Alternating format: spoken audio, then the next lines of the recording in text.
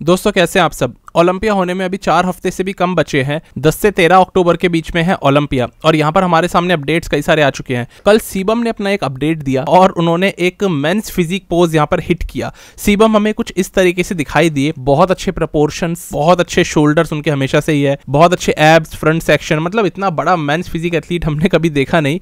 और ये इन्होंने एक्चुअली में बताऊँ तो एक फन एस्पेक्ट के तौर पर ही ये वाला पोज हिट किया है। ऑल दो सीबम बिल्कुल प्रपोर्शनेट दिख रहे हैं, अगर आप देखो, मेंस फिजिक एथलीट के हिसाब से ये बहुत सही दिख रहे हैं।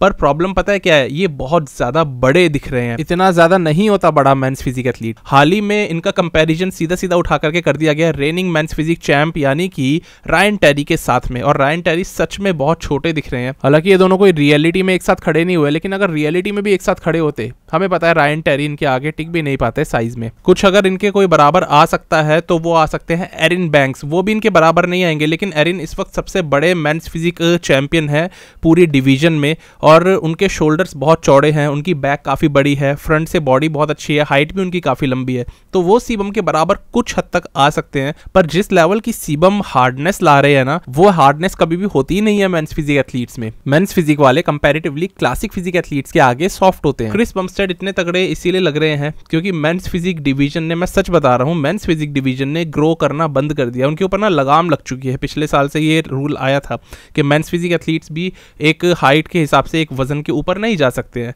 मैं सच बता रहा हूँ, अगर वो लगाम ना लगी होती तो आज सीबम जितने बड़े एथलीट्स भी हमें मेंस फिजिक चैंपियन बनते दिख रहे होते, क्योंकि आप में से बहुत सारे लोगों को शायद याद नहीं होगा 2019 में जब मेंस फिजिक चैंपियन बहुत छोटे हुआ करते थे, उस टाइम पे जेरमी बोंडिया वाली बॉडी का चलन था। ऐसे में रेमंड एडमर्ड्स जैसे एक बहुत वाइड फ्रेम के और बहुत ही ज़्यादा ह्यूजली ह्यूमंगस एक एथलीट को मेंस फिजिक चैंपियन बना दिया गया था। क्या शोल्डर थे रेमंड के? क्या साइज़ था उनका? उस टाइम पे सीबम भी लगभग इतने ही बड़े दिखाई दिया करते थे। हल्के से और बड़े थे ऑब्वियसली वो एक क्लासिक फिजिक एथलीट थे, पर ये साइज़ काफ़ी कंपेरेबल आ चुका था।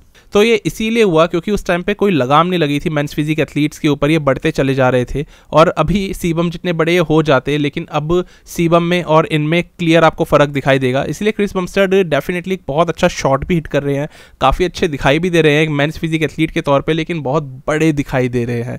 इसीलिए इन्होंने एक ये फन पोस्ट करके ज़्यादा डाला, और आप लोगों को ये कैसे लगे मुझे ज़रूर बताना। मुझे बहुत अच्छे लगे, मैं सच बता रहा हूँ। इवन तो ये स्टैंडर्ड्स में मेंस फिजिक के बिल्कुल भी फिट नहीं होते हैं ओवर साइज़ होने के कारण, लेकिन स्टिल वो एक शेप वो एक वी टेपर खड़े होने का तरीका और लेग्स भी अब तो मेंस फिजिक एथलीट्स के काफ़ी अच्छे हो गए तो एक वो बैलेंस और सिमेट्री बिल्कुल मेंस फिजिक एथलीट वाली इनकी निकल के आ रही है। एक फ्लो इनका वो निकल के आ रहा है। बस एक बड़ा वर्जन है ये। इसके बाद दोस्तों अगर हम चले अगले एथलीट पे तो ये अपडेट आ जाता है। Reigning mister Olympia champion Derek Lunsford के ऊपर। डेरेक ने अपनी हाल ही में ये वाली बॉडी दिखाई और इसके अंदर ये एक तरह से मोस्ट मस्क्यूलर हिट कर रहे हैं। एक परफेक्ट लाइटिंग कंडीशन के अंदर हमेशा ये इस जिम में रहते हैं। लेकिन डेरेक की फिजिक इस परफेक्ट लाइटिंग कंडीशन के अंदर भी उतनी ज़्यादा बड़ी नहीं दिख रही थी, जितना ज़्यादा एक मिस्टर ओलंपिया चैंपियन को दिखना चाहिए। और इसी कारण से यहाँ पर बहुत सारे लोगों ने ना कुछ अतरंगी से ही कमेंट्स इनके ऊपर कर दिए। यहाँ पर आप देखोगे किसी ने ये बोल दिया looking good man by any chance are you competing any time soon तो लोगों को ये लग रहा है कि ये शायद कम्पीट करने वाली बॉडी भी नहीं है।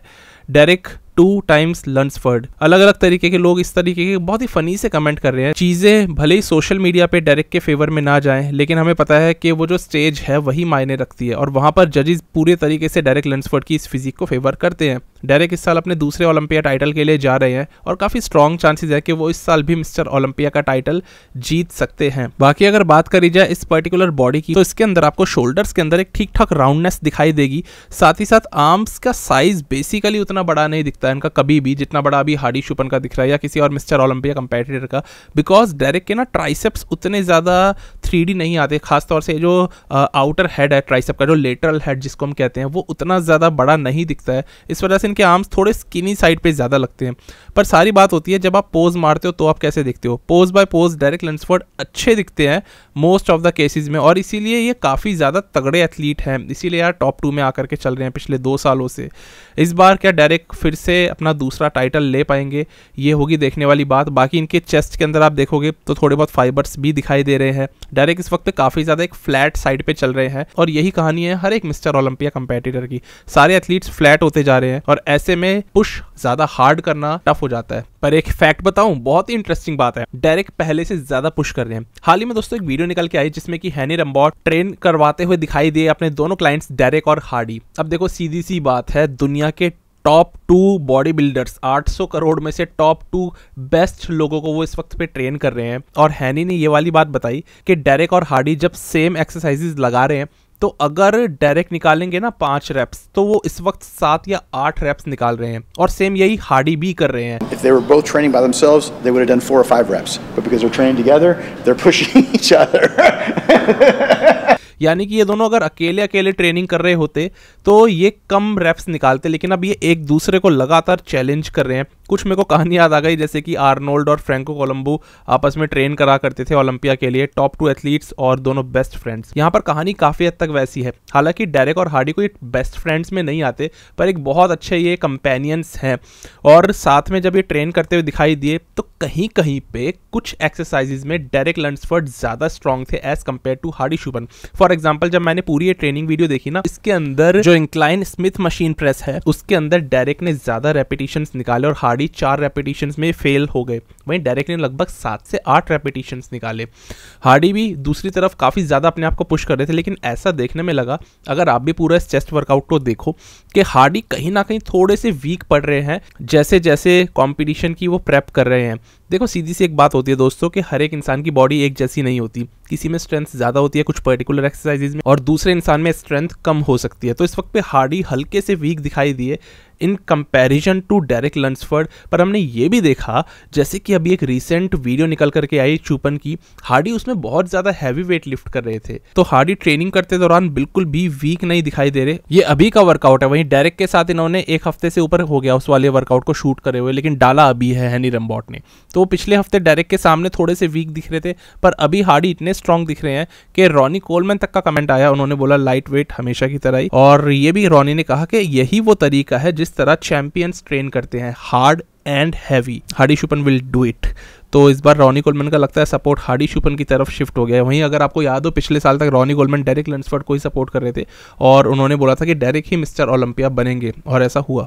रॉनी कोलमैन आमतौर पर जिस एथलीट को सपोर्ट करते हैं रॉनी कोलमैन एंड फिलहीत के साथ मैंने ये देखा है, ये जिस एथलीट के लिए जो प्रिडिक्शन करते हैं, वो काफ़ी टाइम्स सही निकलती है। देखते हैं इस बार रॉनी कोलमैन की प्रिडिक्शन वीडियो में किसको वो ऊपर रखेंगे। फ़िलहाल हार्डी शुपन इस ट्रेनिंग को करने के बाद एकदम रिप्ड श्रेडिड अपनी चेस्ट को फ्लेक्स करते हुए नज़र आ रहे हैं। यहाँ पर अगर हम चले अगले एथलीट पे तो ये नाम आ जाता है इसमें ब्रैंडन करीगा ब्रैंडन हाल ही में अपनी फिजिक दिखाते हुए नज़र आए।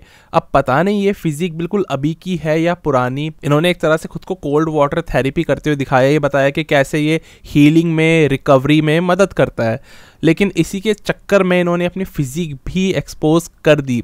अभी भी कंफर्मेशन मुझे नहीं है कि ये फिजिक अभी की है या कोई पुरानी इन्होंने वीडियो डाल दी, पर ऐसा एज्यूम करा जा रहा है कि ये फिजिक इनकी अभी की है। और मुझे इस एग्जामिशन के चांसेस थोड़े ज़्यादा स्ट्रांग लगते हैं, क्योंकि ये फिजिक ना उतनी ज़्यादा राउंड मस्कुलर नहीं है जैसे ब्रैंडन करी पहले दिखा करते थे। पिछले साल तो खैर ये बीमार हो गए थे। इस वजह से बहुत छोटे दिखे थे, लेकिन इस साल प्रॉब्लम ये हुई कि ब्रैंडन ने अपनी प्रेप ही बहुत ज़्यादा लेट स्टार्ट करी है। ब्रैंडन का ये कहना है, हाल ही में अपने पोस्ट के ज़रिए कि मेरी फिजिक लगातार स्ट्रांग हो रही है और ना इनकी बॉडी ज़्यादा पुश कर रही है। हर एक हफ़्ते के साथ साथ इंटेंसिटी लगातार ऊपर जा रही है। इन्होंने ये अपना चेस्ट वर्कआउट डाला, जिसमें बहुत ही एक अलग एंगल से ये डम्बल प्रेस लगा रहे हैं। अभी वीडियो है दस तारीख की रिकॉर्ड हुई। दस तारीख की वीडियो इन्होंने अभी डाली। डाली है। इन्होंने बताया कि इस दिन ये काफ़ी लो फील कर रहे थे स्टिल काफ़ी ज़्यादा ये हैवी पुश कर रहे थे। तो ब्रैंडन के सारे चेस्ट वर्कआउट्स आपको हैवी दिखेंगे।